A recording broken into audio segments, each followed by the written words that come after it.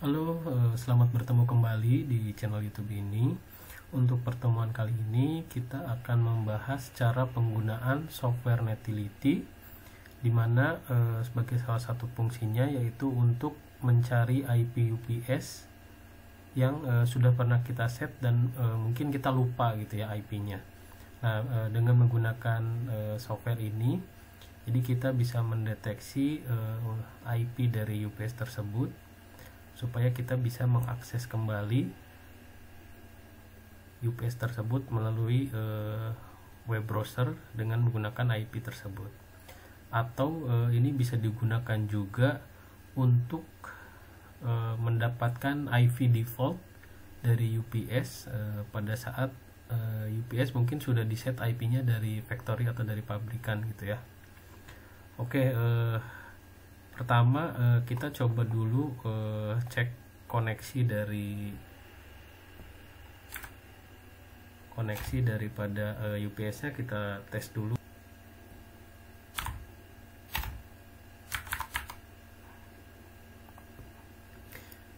Kita ini coba tes ping dulu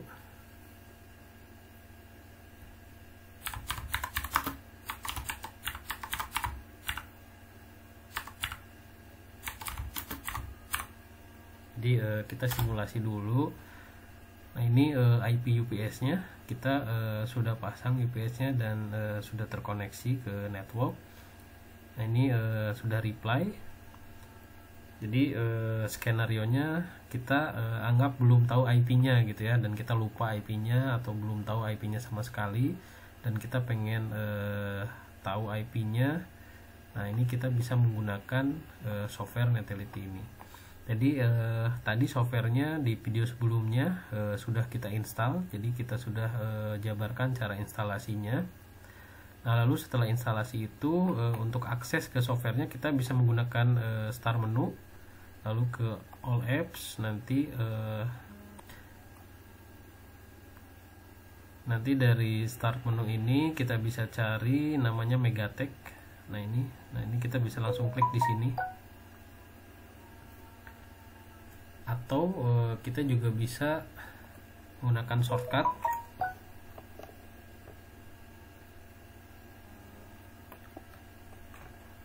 Jadi uh, shortcutnya ini uh, sudah kita taruh di desktop. Ini tinggal di double klik aja. Ini kita coba yang menggunakan uh, dari start menu all apps lalu kita pilih ke Megatek lalu kita pilih klik yang Netility Nah ini begitu kita uh, buka aplikasinya, ini dia akan otomatis mendetek. Jadi kita tidak perlu ngapa-ngapain lagi. Begitu kita buka, dia akan otomatis mendetek uh, semua UPS yang uh, terkoneksi ke uh, network, gitu ya. Nah, ini kebetulan kita ada pasang satu UPS dan ini kita sudah connect ke network dan ini sudah kedetek ya langsung. Jadi nanti IP-nya akan muncul di sini gitu. Jadi informasi detailnya dari sini. Nah kalau misalkan e, belum ke detect ini kita bisa refresh list di sini.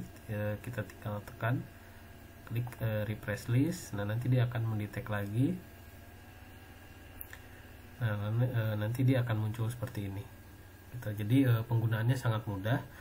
E, jadi pastikan dulu teman-teman sudah terkoneksi juga ke network yang sama di e, dengan UPS-nya lalu tadi install uh, aplikasi Netility uh, eh, UPS nya juga udah connect ke network. Nanti tinggal buka aplikasi Netility nya kita tinggal klik ke refresh list. Nah nanti akan muncul uh, eh, IP UPS yang terkoneksi ke uh, network yang sama gitu ya. Oke nah ini uh, cara menggunakan software Netility untuk mendeteksi atau mencari uh, device uh, atau uh, alamat IP dari si UPS-nya itu ya. Oke, uh, mungkin pembahasan uh, video ini hanya cara mendeteksi uh, IP dari UPS-nya.